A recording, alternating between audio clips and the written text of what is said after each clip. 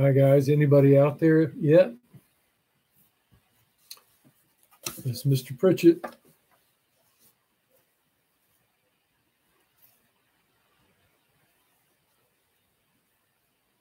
If you are there, um, just shoot me a letter with your name and say here.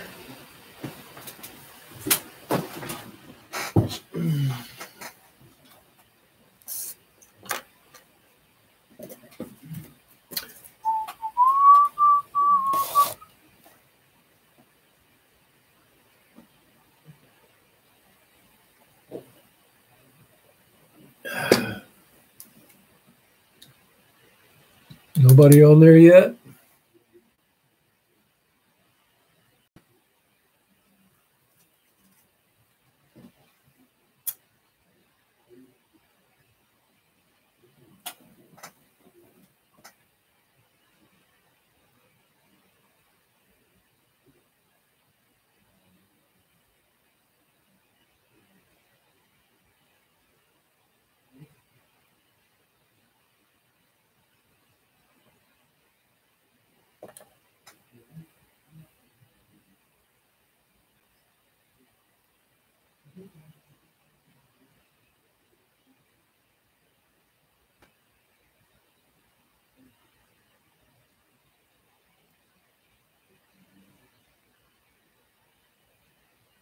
Anybody out there?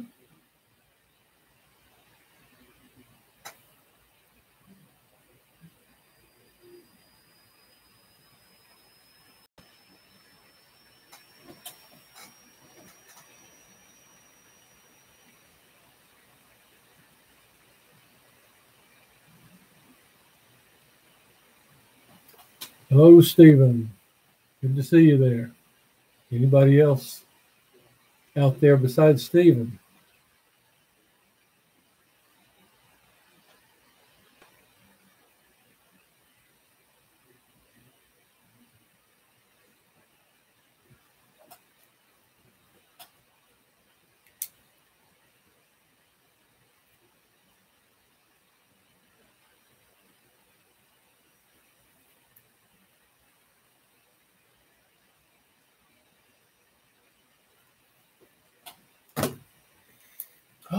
Great. We got a few more.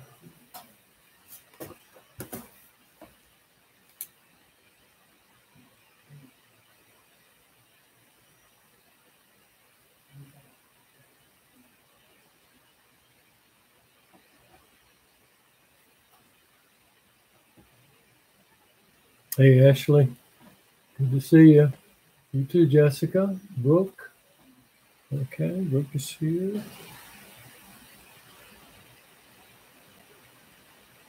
Lace. Hello, Lace.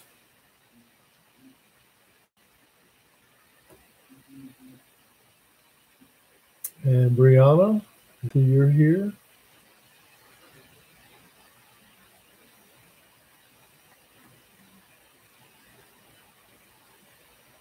And Nathan, okay, good.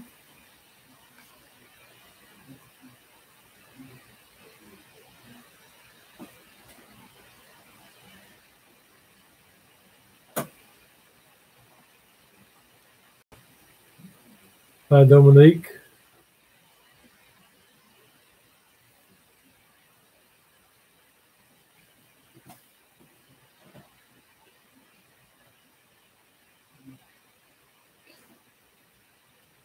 Okay, Kira, you're there. Okay, I didn't recognize your name by, by Kira. I know Shakira.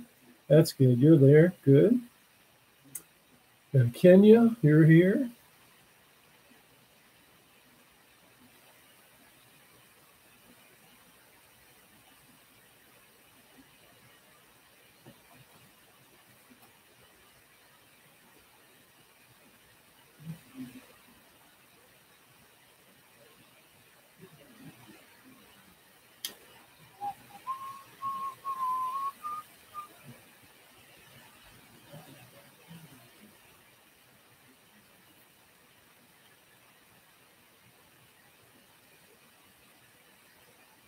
Jordan, okay. Glad you're here, Jordan.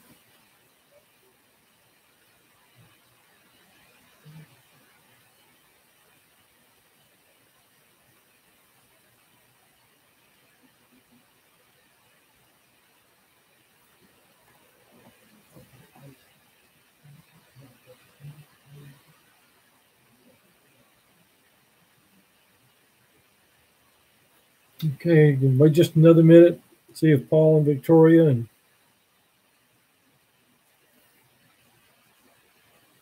see, we'll have Jessica Shelley here. Jasmine's not here. Leslie's not here. And Shay's not here. Okay.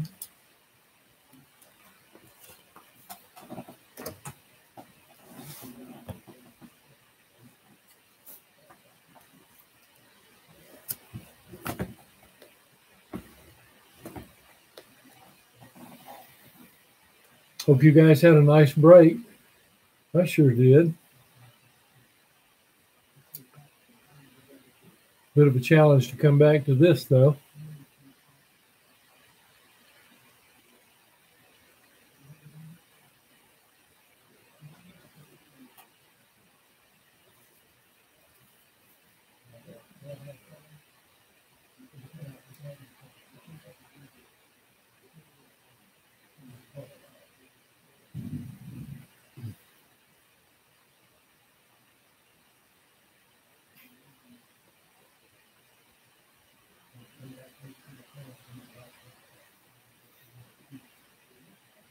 Okay, well, let's just go ahead and get started. Um, I assume you have your textbooks. So uh, that's where I am. I'm on page 340. Um, I don't know if you have, can do a split screen where you can see me and also draw up your uh, Pearson uh, program. But I'm on page 340 just want you to, to get thinking a little bit in terms of what you might see on a test whenever we get around to figuring out uh, how a test is. Hi, Anisha. Good to see you here. We're on page 340 in the textbook, Anisha.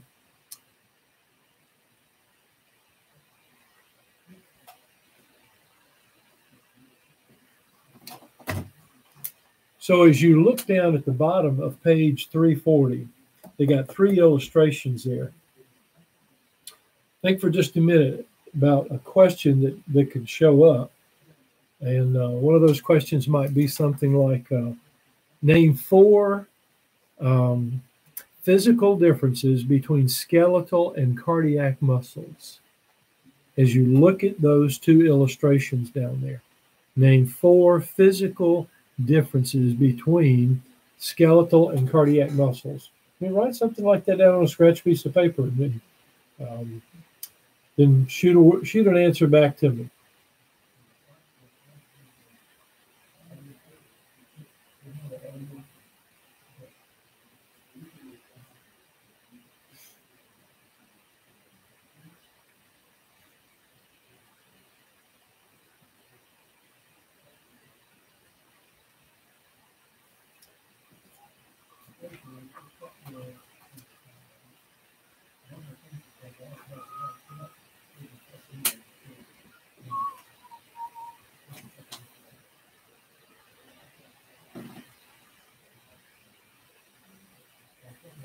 Good, Ashley. Voluntary and involuntary. Good. Cardiac has branches. Good. There's one. It's, so there's two. Uh, we wouldn't call voluntary and involuntary uh, physical differences. That's a functional difference. So keep that in mind. That wouldn't really be acceptable. But you're right in what you're saying. If I said functionally, what's different between them, Ashley, then you'd be saying uh, voluntary and involuntary. Okay, Brianna, good intercalated disc. That's a physical structure. So there's two of them now. We've got branches for the cardiac and intercalated discs for the, um, well, the cardiac branches. You got intercalated disc for the cardiac cells. So, um, anything else?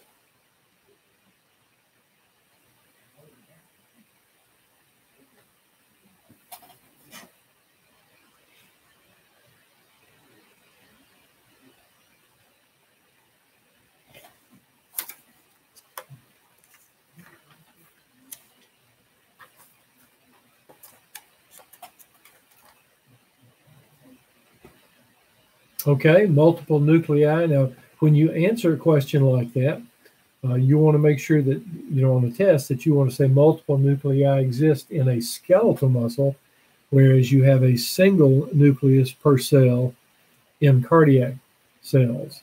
So make sure you're, you're real clear on that. Anything else?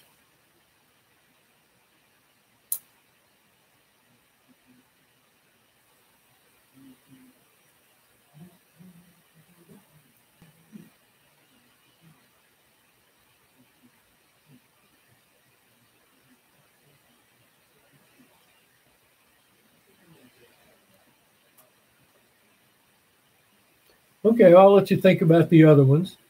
Let's uh, let's do this. Let's go over to um, page 345. On page 345, you look down at the bottom right hand corner, and that's where you'll find that number 345.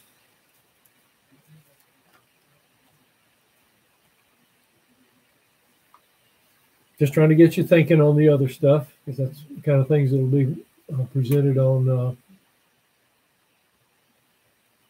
a test. So as you look on page 345, anybody having a hard time with that? It's a big picture. As a matter of fact, the title of it is the big picture. And you look up at the top left-hand corner and you see figure 10.6.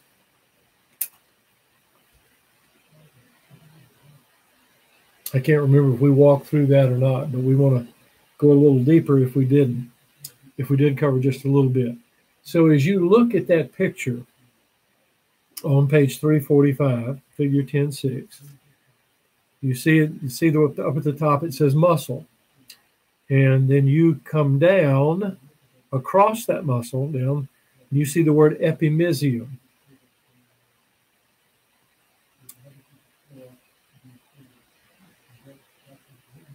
And then as you look at uh, this muscle and you see the outer covering, the epimysium, you move into the muscle and you see between these red uh, structures that are called fascicles. Can you look a little bit to the left at the top of the diagram, a little bit to the right, rather, excuse me, at the diagram, and you see the word fascicle. And you see between fascicles you have this little gray matter, and that little gray matter, as you, if you come down a little bit under the fascicle where it's extended, you see the word perimysium. Hi, Paul. Glad you're here.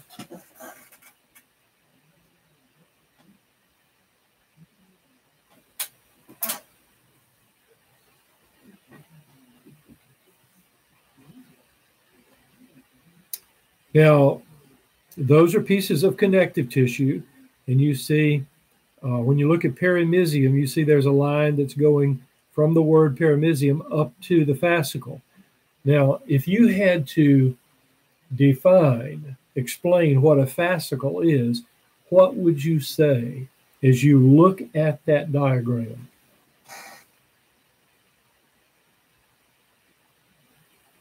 How would you define it?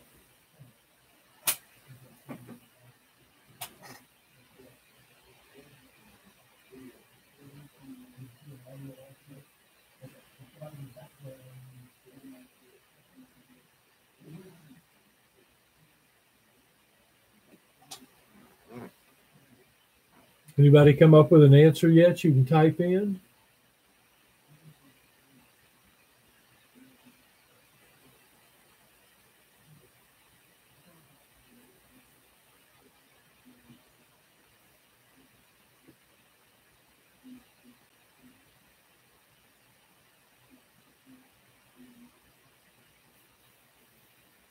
Okay, let's look at uh, look at the fascicle. And of course, it's surrounded by perimysium. And as you um, look at the cutaway view of the fascicle, you see little pink structures in there, and then you see little gray matter going around those pink structures.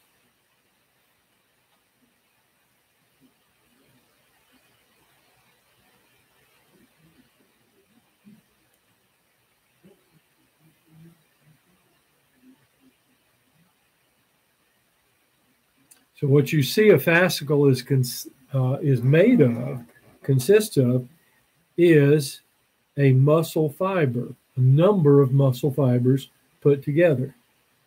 if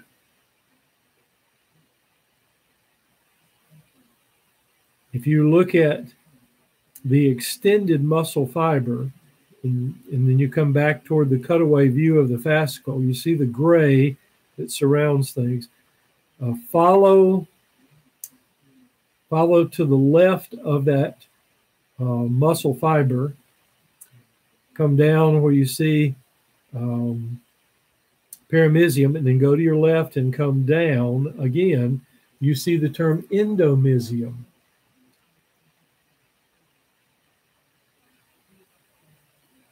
Anybody not see that? This is where I wish we had that face to face and had the uh, program to point that out, make it a little more easily understood.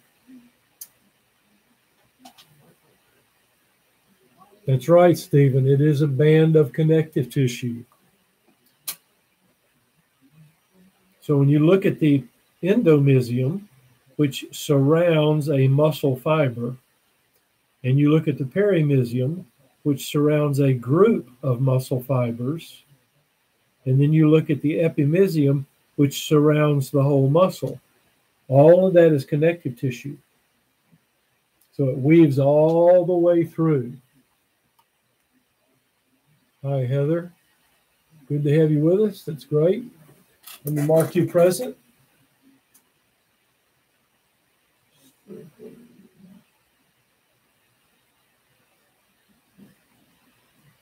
Let's see, where are you, Heather?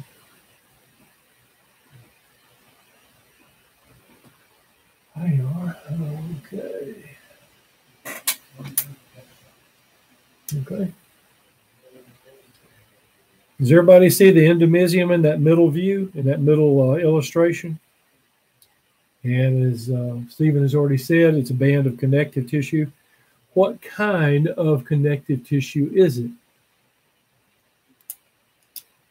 What do you think, Paul? What kind of connective tissue is the endomysium? Which is the same structure of perimysium, which is the same structure of epimysium.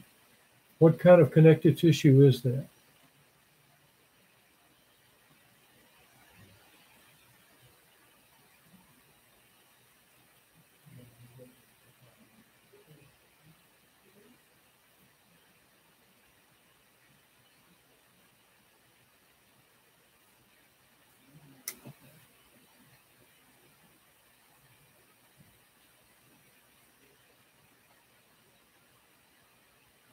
You already know that connective tissue.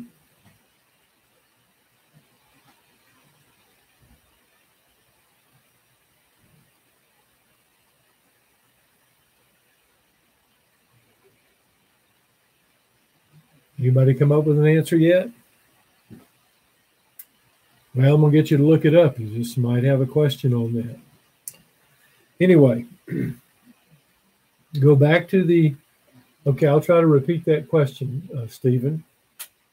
Uh, as you look at the, the top third, let's say, of that page, and you see where it says muscle and fascicle, and then you see the, the fascicle consists of a number of other structures, and that here comes one of those structures out.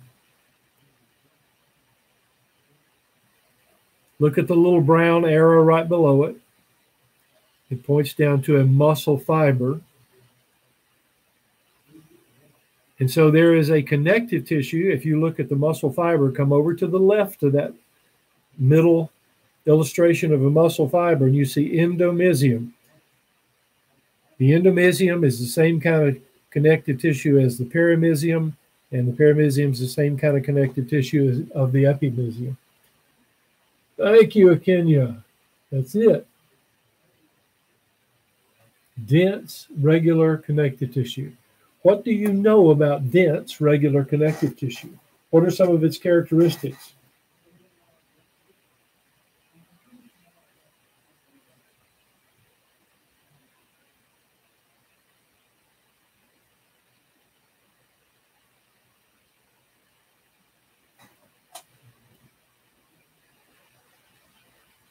That's right, Lace.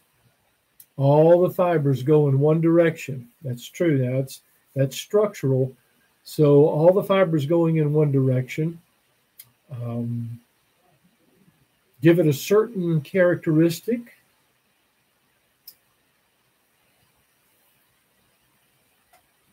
What do you know about dense regular connective tissue in terms of a characteristic, not a physical, not a, a, um, a structural characteristic, but its functional characteristic? That's right, Heather. It goes in one direction. Uh huh. That's correct. What about its function?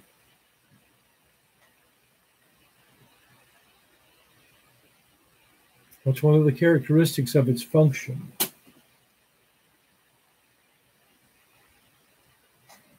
Strength. That's right, Akenya. Strength. If you follow back into to the top of the top third of that picture, and you've got the endomysium around that uh, muscle fiber, you've got the perimysium around the fascicle, and you've got the epimysium around the muscle, and they all go together to the left, and you see it forms a what does it form? What is the structure that it's formed to the left of the muscle? Up at the top.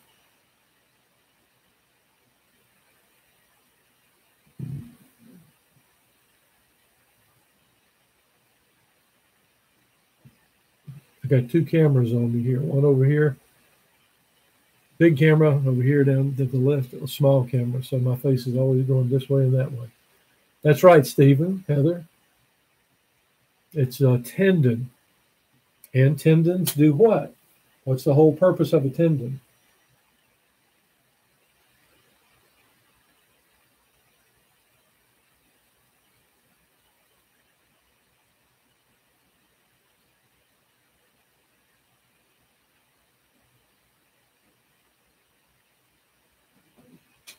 That's right, Heather. Connect bone to bone, bone to muscle.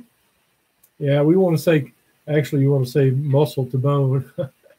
you got the right idea, but you want to, uh, it's, it's, a good way to put it, vice versa. So you want to hold muscle to the bone. That's right, uh, Brooke. And Stephen, that's correct. Sometimes those tendons are so strong that when a muscle really contracts hard, sometimes you can literally break a bone. Uh, there are people who have coughed so hard that they have cracked a rib.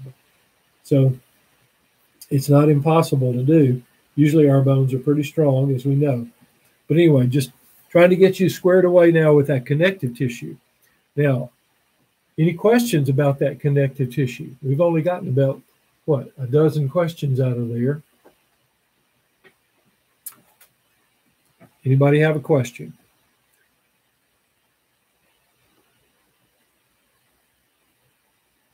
Okay, so let's go back up to the top third of that page. You see the fascicle. You see it's coated with uh, perimysium. And then you look at the cross section of the, of the fascicle and you see it's composed of muscle fibers. Now, you see one of the muscle fibers extends to the right And right above that, I want you to write muscle fiber. This is on that diagram. Right above muscle fiber, I want you to write W R I T E, muscle cell. Same thing. It's just another way of calling uh, what it is, naming it. And then go right above the muscle cell and put the word myocyte. Myocyte. Cyte's a root word for cell. MYO is a root word for muscle. So you can all you can use any of those three terms when you talk about a muscle cell, skeletal muscle cell. Okay, any questions about that? Give you a few seconds to type something in if you uh, have a concern.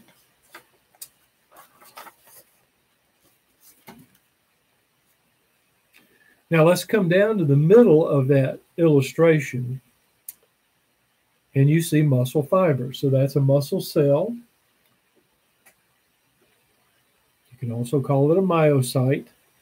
You see the endomysium over to the left, same kind of connective tissue that the perimysium is, that the epimysium is. So you've got a lot of strong tissue for those muscles. And then when you look down below endomysium, you see the word sarcolemma.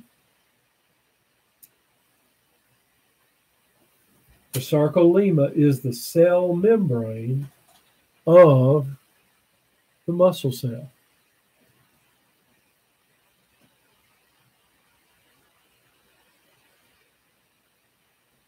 So the cell, the sarcolemma would be inside the endomysium. Endomysium surrounds that whole muscle cell, and the sarcolemma is the cell membrane. What is the cell membrane of a, of a muscle cell composed of? What are the substances that are put together to make that cell membrane? See how I'm getting you to go back all the way to what chapter mm, two, maybe? Mm-hmm.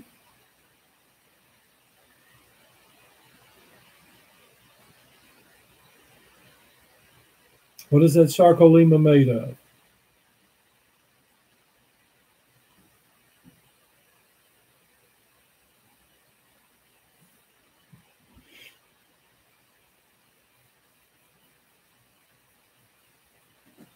Phospholipid bilayer. That's correct. It's made of a phospholipid bilayer. So it's got phosphorus in it, and we know it's got lipid in it.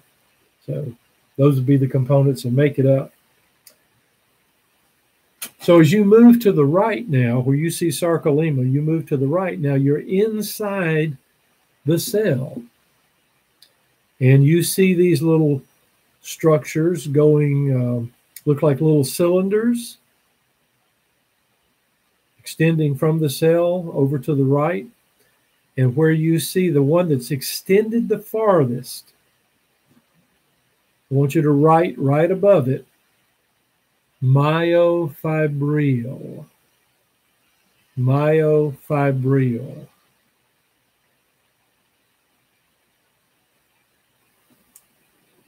And then right below it, I want you to write an organelle.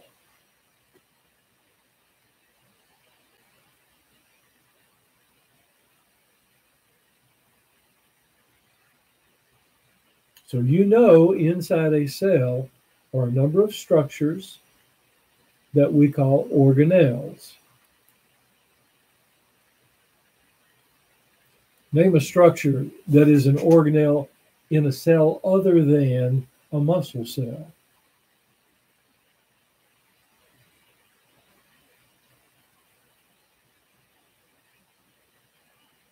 Or just name an organ inside any cell.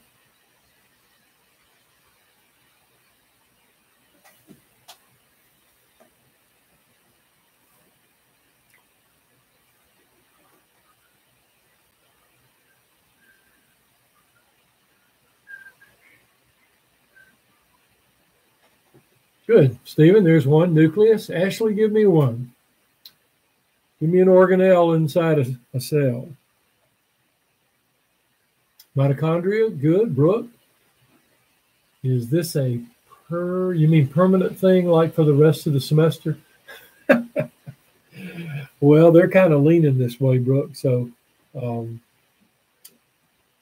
we'll let you know probably for sure. Let's see, the 23rd is next Monday, so 24, 25, 26. By the 27th, you'll know if we're going to be able to come back to school. But it sounds like they're just going to keep it up until we hit the end of April. Okay, Paul, smooth and rough ER. Stephen, you heard that what I just said, didn't you? So maybe by next Friday we'll know. But I, it sounds like they're really going to push this. Okay, ribosomes, Heather, good.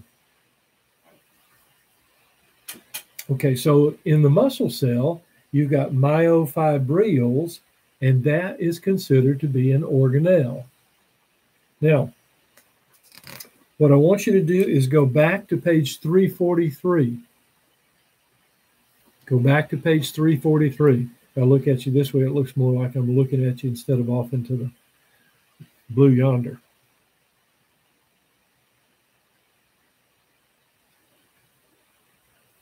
Okay, on page 343, you see a, a very similar picture. And you see over there to the right, sticking way out to the right, you see a myofibril, and, and there you can write, those are organelles. And then you see cytosol, that's the sort of semi-fluid um, that we could call it intracellular fluid. It's got proteins in it and so forth, so it's not just pure water, but it's about 80% water. Now, look up at the top of that diagram. That's uh, figure 10.4, and you see something similar to what we just went over. When you get to the central portion of that page, you're looking at a muscle cell, and you see endomysium. Now we're working our way in. We're looking inside the cell around the myofibrils. So you want to circle and note sarcoplasmic reticulum.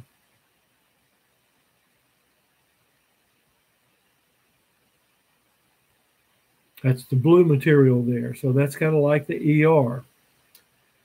Now, one of the things that the sarcolemma does is if you'll look to the right, you will see the term transverse tubule. That is an invagination of the sarcolemma that traverses the muscle cell.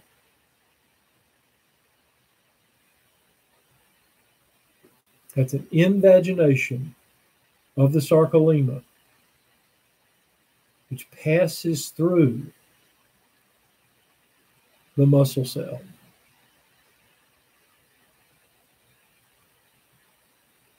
And you see that it lies on top of the sarcoplasmic reticulum.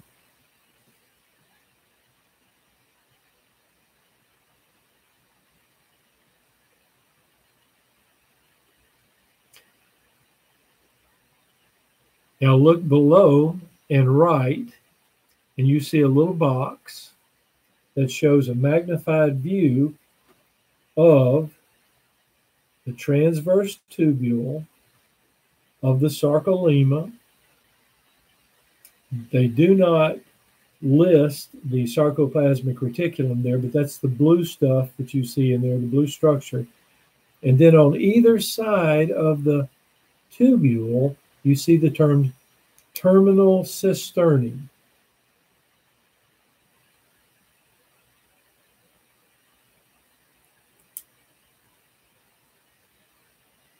So you have a tubule, and on either side of that tubule, you have enlarged cavities that are called cisternae. Uh, one of the things that you probably haven't seen um, or used a word like that, people used to catch rainwater and they would let it come off the roof and it would run into some sort of a structure, a hollow structure in the ground. That was the way they got their drinking water. And they called that a cistern, just like you see there C I S T E R N. So it's an enlarged area. And we're going to talk about the function of it in just a few minutes. So you have a terminal cisternae on either side of the transverse tubule. Therefore, you have a triad. The tubule and two inflated, enlarged portions of the sarcoplasmic reticulum.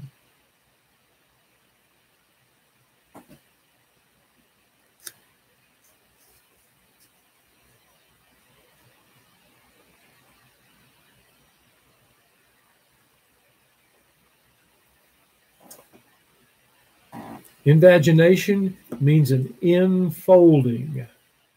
It's an infolding. Here, here's a tube, or let's say my fingers are a tube, and then if it folds in and is hollow in the center, that's an invagination.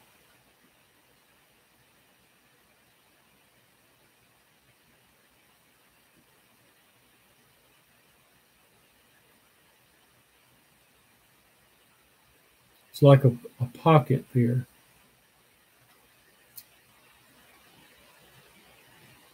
But in our case, it's a tube, goes all the way through the muscle cell, but it's a it's a hollow uh, structure that is formed on the outside by tissue.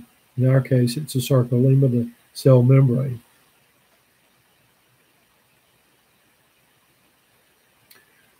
When uh, just to um, maybe help clear it up, when um, a fetus, you know, starts out as a one cell structure and it begins to multiply and eventually forms into an embryo, there are places on the body where tissue folds inwardly to form a structure. Uh, you can see the word vagina in that term invagination. That's a folding in of tissue to form a pocket, form a pouch. We see that in the GI tract of the starfish. The GI system is uh, the cells down here at the uh, bottom know that it's going to be GI tract and they fold in like this to make the GI tract. That's an invagination. Hopefully that kind of makes it a little clearer for you.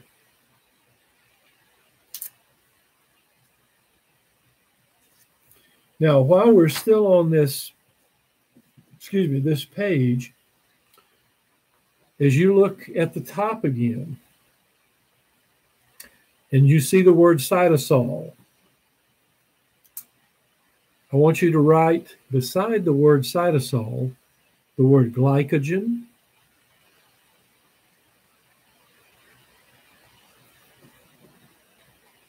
And you probably know glycogen. Uh, what category would glycogen fit in? Those four biological categories. Which category would glycogen fit into?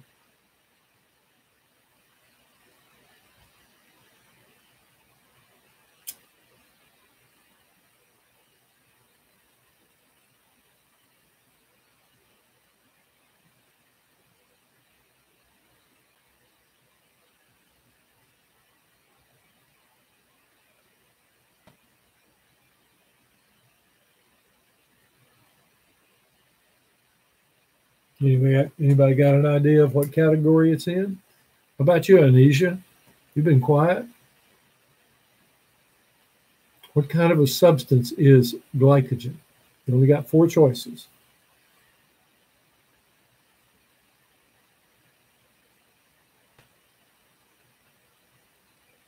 Paul, that's correct. Stephen, that's right. That's good. Well, he beat you to it, Anisha, but anyway, Carbohydrates, polysaccharides, that's good. And of course, we use those for energy, don't we?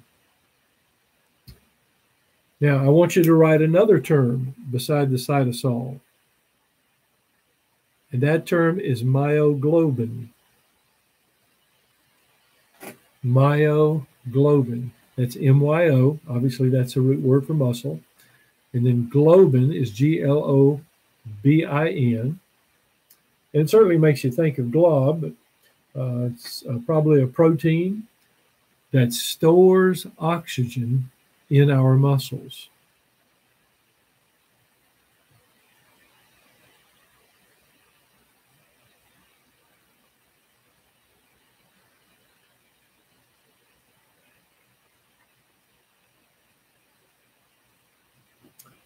I did a little reading the other night just for the fun of it. And I found out that animals like seals and uh, whales, and there are probably others too, but I just didn't get that far. Uh, but uh, myoglobin um, holds oxygen, and those organisms, like the whales and the seals and um, others that are actually mammals, they can dive quite deeply in the ocean for long periods of time because they have a lot more of this substance, myoglobin, that carries oxygen so that they can draw on it when they're down 2,000 feet, swimming around, doing whatever whales and seals do at that depth, 1,500 feet or so. And then they come back up. to refresh that.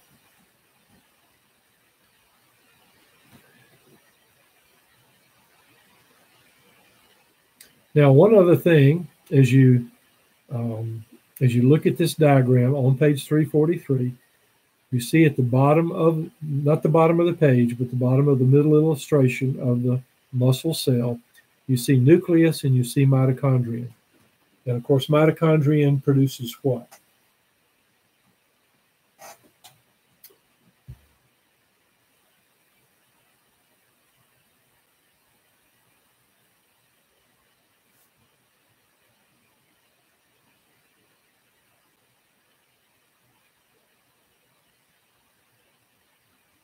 That's right, Akenya. Energy. These muscles move, they need oxygen, they need ATP, and the mitochondria produce that energy so that we might be able to keep those muscles going.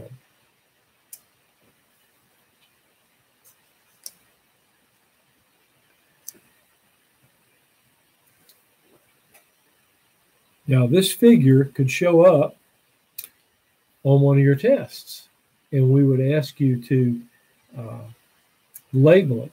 And see, you've got a lot of things here that you can add, that uh, you could put on there, and the same thing is true over to um, page 345. A little bit redundant there, but got some pretty good uh, artistry there in terms of drawing the muscle, muscle cell. So let's go back to page 345.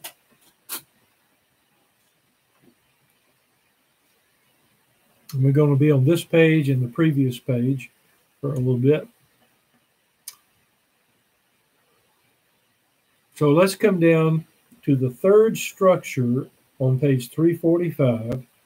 And you see at the top of that little structure, that's the third structure down. You got the muscle, then you got the muscle cell, and then you got this uh, myofibril. And it's not labeled, but I want you to look. Let's see, look over on page 346.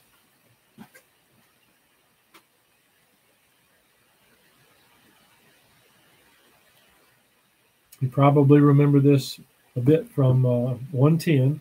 But that's basically the same drawing. It's on page 345. That's a myofibril, a section of it and you see the boundaries of a uh, structure called a sarcomere. Now, if somebody asks you what a sarcomere was, maybe some of you have read ahead, how would you define a sarcomere?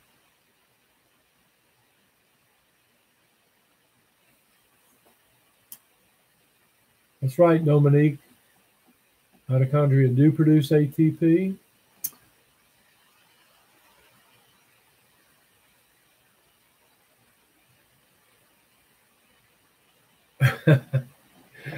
I understand, Stephen. It's a little bit different, a little more cumbersome, isn't it? I agree with you.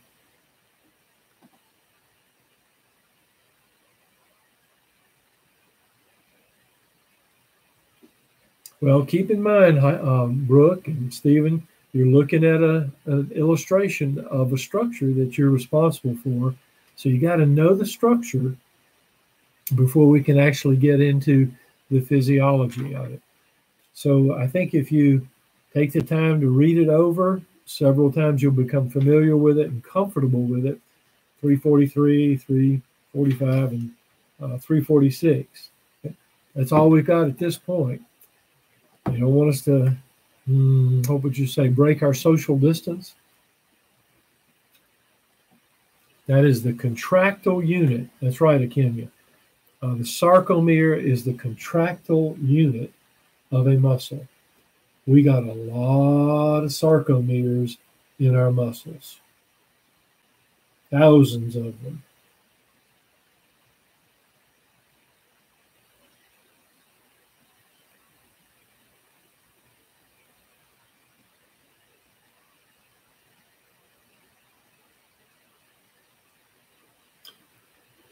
So as you look at a sarcomere on page 346, this one's labeled.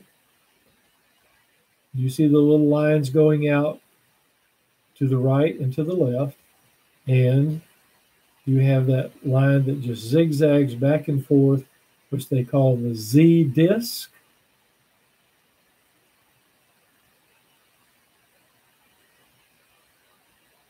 So that's the limit of one sarcomere.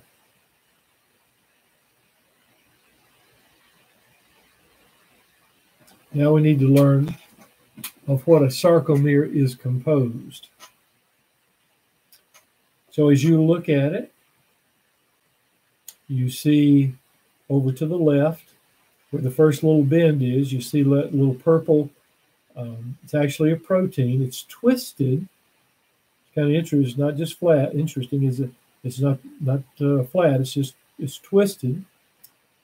You see that's called a thin filament, and that thin filament is actin. A particular kind of protein.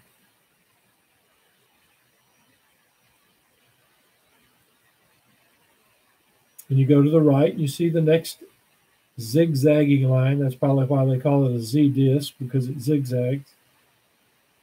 And you see another thin filament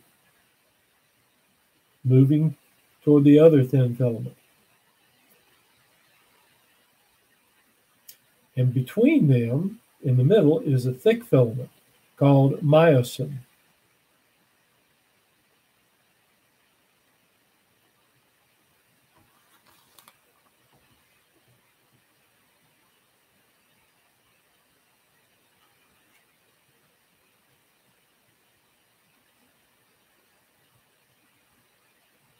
Now look at the very bottom of the picture. We're on page 346. And you see the term I band, A band, and I band.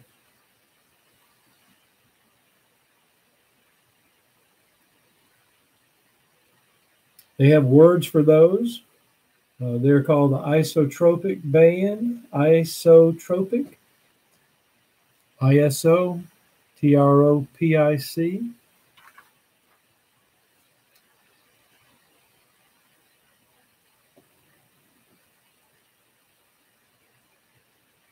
So if someone asks you of what does the I band consist, of what is the I band composed of, you would say actin filaments.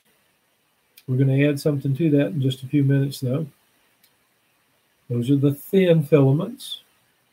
And then you come down to the bottom again and you see in the middle A band, which means an isotropic. If you see an, A-N in front of a word, it usually means without. And in this case, it means without light. So your myosin and part of the actin filaments overlap you can see the word zone of overlap.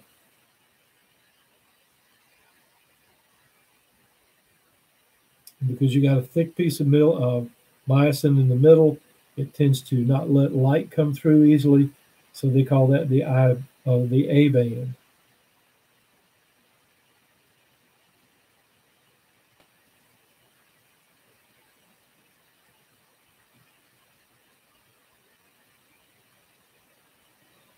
Now, as you look in the middle,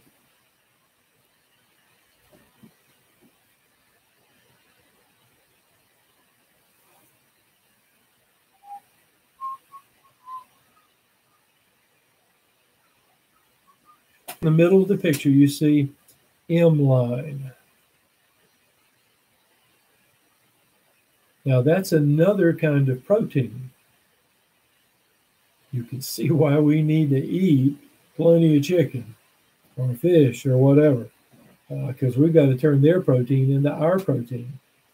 So that M line is a protein that helps anchor the myosin filaments.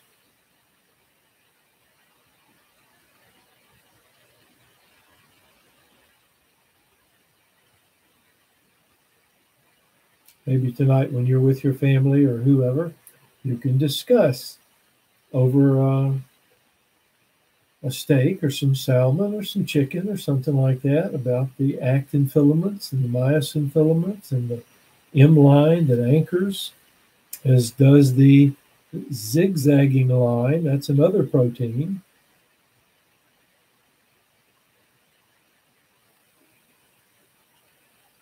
So they're just not flopping around in our arms or our hands or legs or whatever. They're actually in position. And I want you to know this other one, this other protein, still on this same diagram. Look to the left of the block and look up at the top of the block. And you see it says elastic filament. Now, as you look at that, it looks like a coil, doesn't it? Now, some of you uh, maybe have uh, understood that your car uh, rides on springs or coiled springs. And so your tires can give when you hit a bump and it won't jar the whole car. That, that uh, coil compresses and then pushes back down. It can be stretched and it'll come back to its normal um, position. But you see what it does. That little coiled um, protein has a word, has is is a protein, and it's called titin, T I T I N.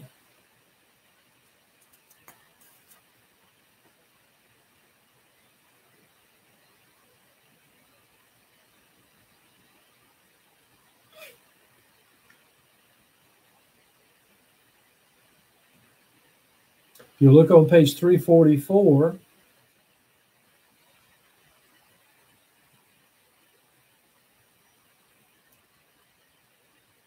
They give you a close-up view of the titin, and you can see how it looks like a spring. And you know, springs like that, you can compress them, and then they will come back to normal. You can stretch them a little bit, and they will come back to normal when that pressure is released. So it's very elastic, but it plays a very important role in keeping order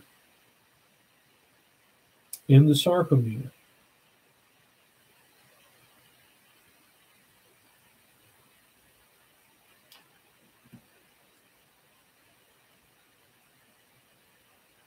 Now, if you're if you're on 344, look to the right,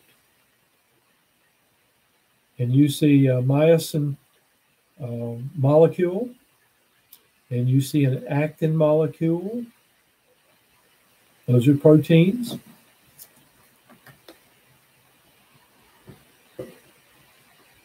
And you see that the myosin has tails and it has heads, little rounded heads. They pull out one for you where you see a thick filament there. It says A, thick filament. There's your tail, there's the hinge, and there's the head. Now, you've got a group of those proteins together. It's not just one protein, it's a group of them together. You see how they pulled that one out, and you see that uh, you got a tail, a hinge, and a head, and even a neck.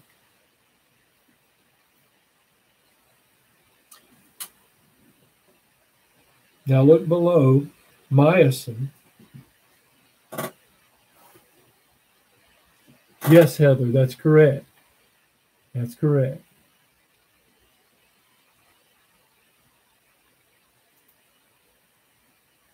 Figure 10.5. Is everybody seeing that? No, is anybody having a problem with it? Visualizing what I'm saying?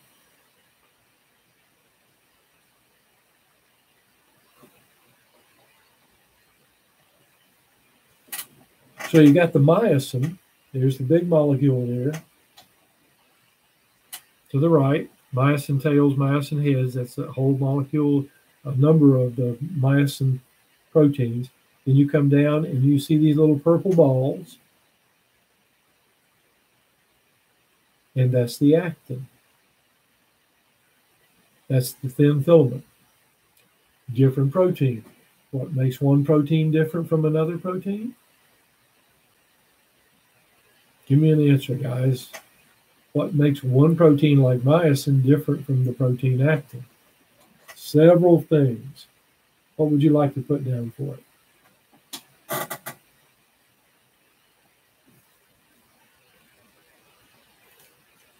Heather, I'm glad you got you glad you found it on 342. You got a, a different edition probably, but you found it. That's good.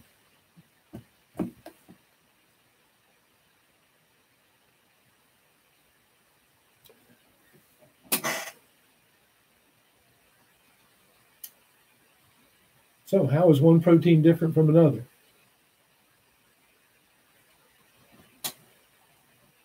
Okay, Kenya says sequences of amino acids. That's right. Just like our letters, our words has different letters in them. The, the sequence is important. Anything else?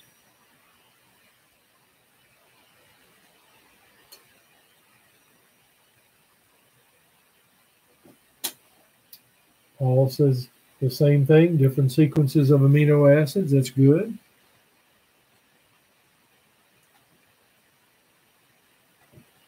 That's right, the number of amino acids, the types of amino acids, the sequence that those amino acids are arranged in. That's what makes different proteins. It, just like our, how many words can we have in our dictionary? And they're all made out of 26 letters. But how they're arranged well, we get a lot of words. As a matter of fact, we invent words, don't we? So the same thing is true here with these proteins. The amino acids, the sequence, the type of amino acids, the number, and so forth, that all determines the, uh, you know, ultimately the function of the protein. So you see there's a um, actin. It's like a little ball, and you see it says it has an active site in it. That's where the head of the myosin filaments attaches to actin.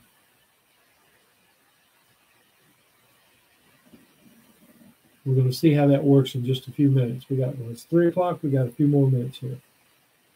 Hang in there. I know you're suffering, but uh, don't give up.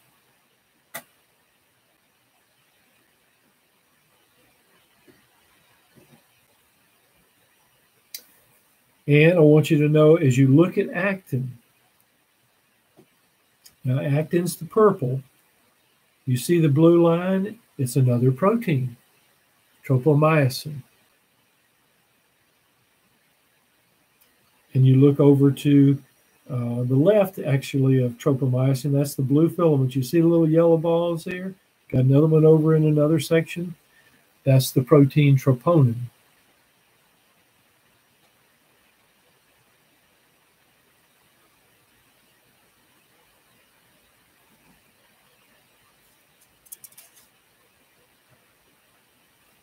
Pretty complicated, isn't it, guys? I understand. I have been through it. But you can do it.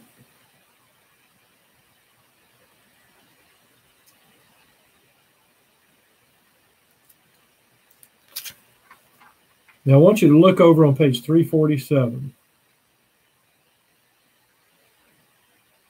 I'm not sure what uh, you have, Heather. It's um, look for figure 10.8. It would probably be close to that if they've got the same picture. See where you got your hands like this?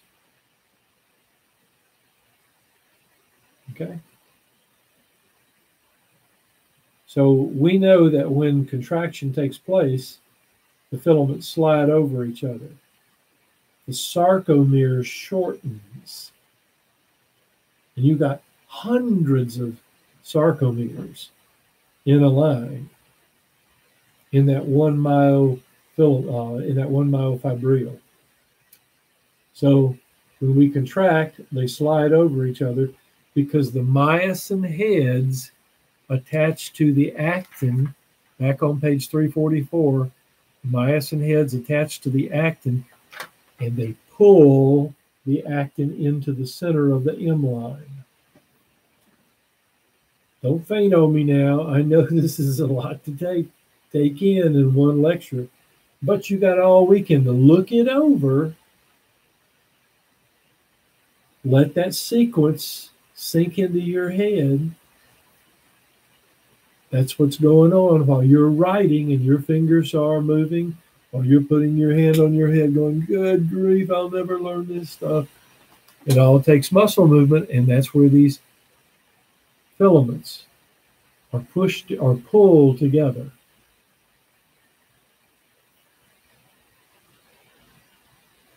They call it sliding filament theory.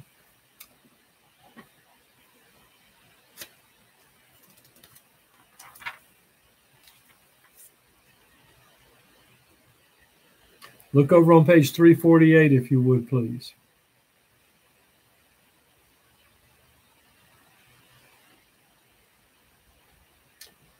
This is figure 10.9.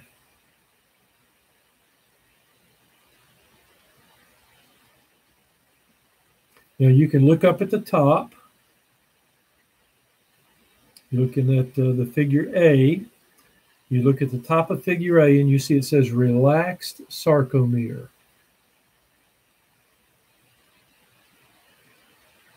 So as you move, what happens is below there, where you see the actin filaments are pulled into the middle where the M line is. Remember the myosin head attaches to actin and then it contracts. It pulls in those filaments.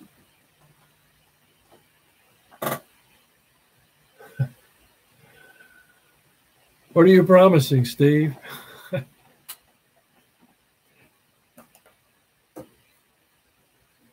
Not the easiest course you've ever taken in your life for me either.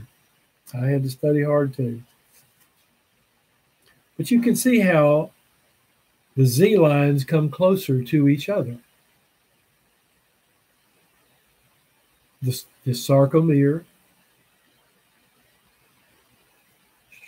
contracts, it is shortened.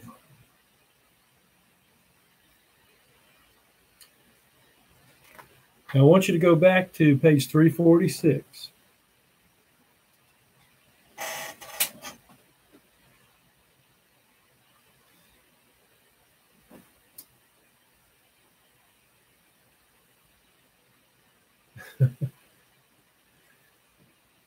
That's good, Stephen. That's good. Now, as you look at this, this figure 10.7 again, think about when those filaments, actin, those actin filaments are pulled in toward the M line, what happens to the coil? What happens to that coil protein called titin?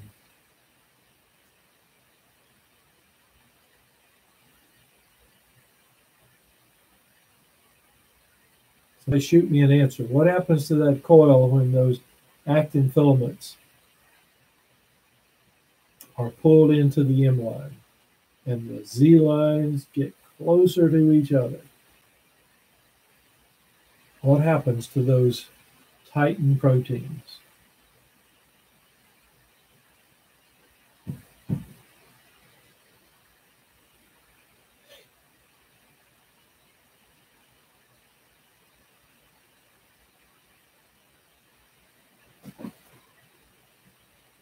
Mm, it doesn't stretch at this point.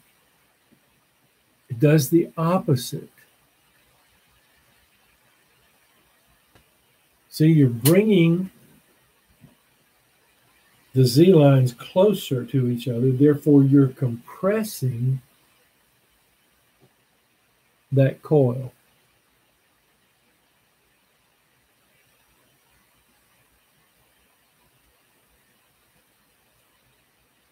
I know that you you've been driving cars all ever since you hit 15 or 16, and you know the last thing on your mind was about the springs on which your car rides.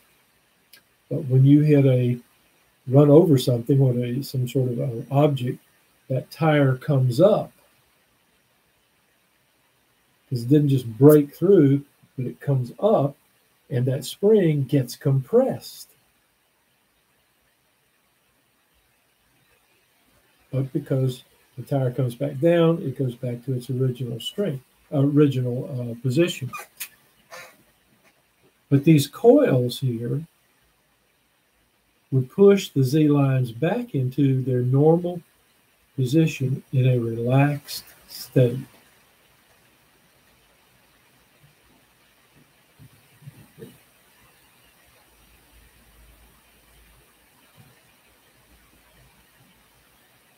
Got to let that sink in a little bit, don't you? Now that's a coil that can be stretched. So, you know, you can stretch your arm out and stretch the muscle. Some of you have done that sometimes. Uh, and of course, it'll bring the Z lines back uh, to the proper position.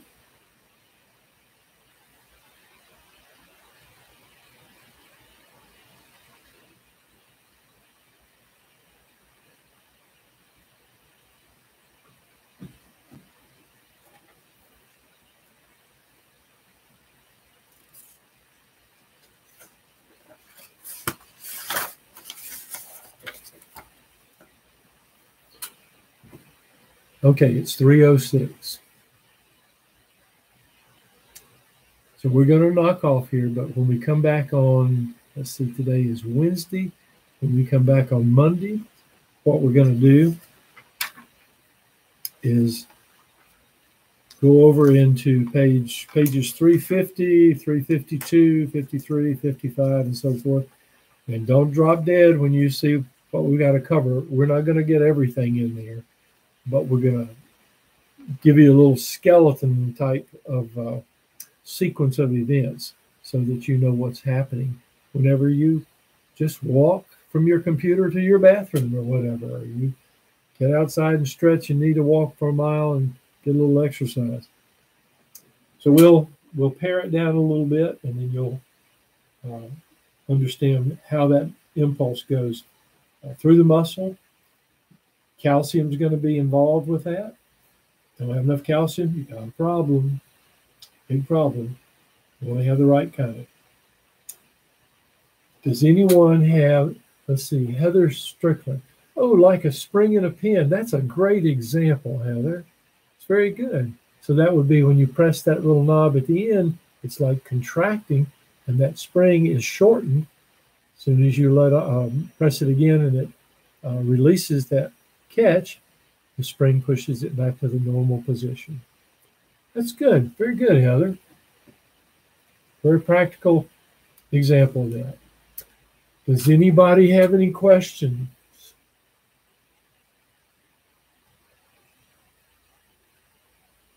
Okay, don't give up yet. Just go over it. The more you go over it, the better you will understand it. It'll start to fall in place, but you got to do that. Some of you may have been athletes, or maybe you're musicians. Maybe you played in a high school band and you had to go over and over that music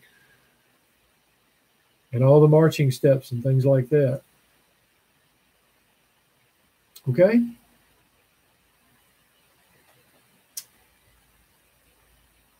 When will our chapter, let's see, when will our chapter 5 and 6 test be? As soon as they figure out, Lace, how they're going to do that. I think that they're going to require that you have a camera on your laptop or uh, maybe on your computer. Like I've got a camera up here at the top of this monitor and one over here at this monitor. So, um, as soon as they figure out how they're going to do it, uh, I'm going to let you know. And I'll probably have to download a test into D2L, and then you'll be responsible to take it there you won't be able to get up or anything like that. So you, you got to go to the bathroom, get it all done so that you're there for an hour, maybe an hour and 15 minutes. And there's going to be a camera that's going to be watching you. Unfortunately, some folks want to do the wrong thing. So that's why they're trying, that's why they're going to do that. So uh, stop that. And if we don't have a camera, I hope they'll give me an answer, Steve. I'm not real sure. Um, I just don't have an answer for you yet. As soon as I get one, we'll work it out then. they even mentioned, uh, I know this is the case too. They mentioned that if somebody doesn't have a camera and can't get one or whatever, they don't have enough money for it. And I don't know how much they cost, but they mentioned that they might let people come into the testing center at certain hours so there would be this uh, social acceptable distance between people. So that that might be an, uh, an alternative for you if you don't have a, um, a camera. Okay. Any other questions Okay, avoid those crowds. You don't want to catch this stuff. Not that it's going to kill you, but uh, you don't want to give it to somebody else. Okay, I'm going to sign off here. All right. I think you can come back anytime today, tomorrow, whatever, and look at the the uh, presentation again. Hopefully, it sinks in a little better. Y'all have a good weekend. All right. Bye bye.